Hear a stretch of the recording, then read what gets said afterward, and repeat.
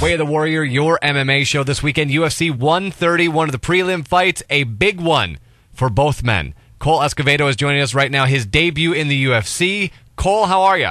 Not bad, sir. How you doing? I am excellent. Uh, I have to say, very excited to see you in the UFC. It has been a long, long trip for you. Talk about what this week has felt like for you. Ten years in the making to get to the UFC.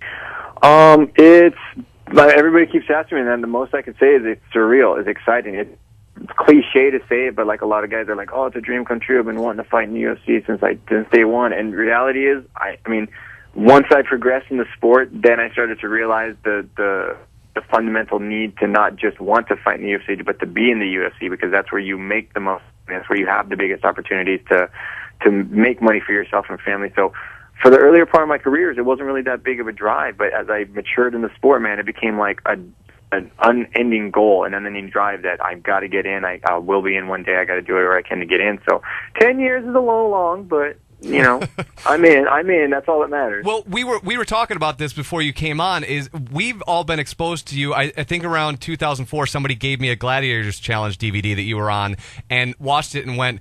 I knew because of the weight class why you weren't in the UFC, but mm-hmm. I thought here's a kid who's phenomenal. I can't wait to see him in the UFC, and that was eight years ago. Yeah, wow, man. Yeah, that was a that was a Gladiator Challenge was way back in the day. I speak for a lot of people where I say I'm very excited to see this, and, and I understand it's kind of hard to put into words. And I know that you're focusing. I know you said in another interview right now you're just a Zuffa employee and you have to win this one to be a UFC fighter. And I can get that stuff, but as a fan, excited to see you fighting on Saturday night. Sweet, thanks. And I'm, I'm actually just as excited to have my fans be able to watch me because I've got so many people that have been following my career, like you and other just, uh, thousands of people, and it's I feel good to be able to give them it almost looks like a vicarious feeling. Like I made it to the UFC as a fan, they made it to the UFC. It's if they get to watch me grow and they actually see me achieve something, and it makes them happy. So it's I I achieve, they achieve kind of thing. So it's it's it's a win win actually. And let's take a step back because not only has this been a 10 year career, but there was a moment in 2006 and 2007 that this probably wasn't going to happen at all. Staph infection is something that runs rampant in MMA, uh, and I think a lot of people don't understand the severity of it. Can you explain really quickly what happened?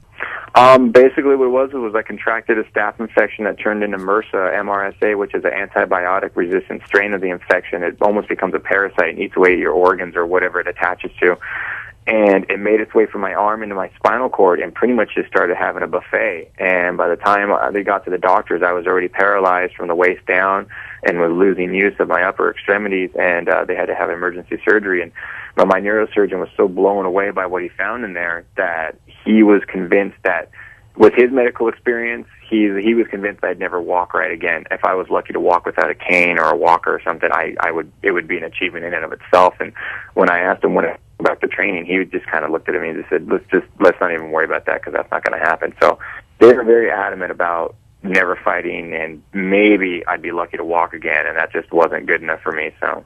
It's an incredible story. Uh, UFC 130 this weekend. Cole Escovedo is on with us. Let's talk about your opponent. Not a lot of people have heard of Renan Barão. He has been huge in Brazil also his debut in the UFC. And a lot of people, I think, think this is going to be one of the fight of the night contenders. Let's talk about what's going to happen on Saturday night. Um, I'm one of the thousands of people that's never heard of him before either. um, I'll, I'll be honest. I, I try to stay on top of new prospects come up in the game and until the UFC called me and said, "Hey, we got this guy that is the first I'd ever heard of him." He's definitely a game opponent. He's coming off like 25 wins in a row or some some crazy nonsense like that. So it's not going to be a walk in the park. As sure as shit, it's a baptism by fire for my debut. But on the same token, there's no easy fights in the UFC, and I wouldn't have really asked for an easy fight anyway, because then that doesn't really prove why I'm there. Um, but yeah, I've never heard of him. Good Muay Thai guy, good ground, great ground guy. Um, as far as the jiu-jitsu community goes, I, I have knowledge of that. But other than that, I never heard of him. So at the end of the day, his record's just a number, and he's just another man standing across from me. So I think you would agree the X factor in all of this is getting into that octagon because there's that weird new UFC adrenaline dump that's different than every other cage that you've been in. Um, yeah, there's probably going to be an adrenaline dump from the experience of walking in that octagon in front of the U- actual UFC fans and actually knowing that you're on UFC. But I really try to keep it as humble and and and you know zero focus as possible, and I just remind myself that it's just another day at the office. It's just that it's a bigger office. You know, it's just like getting a promotion in, in, in the building. So.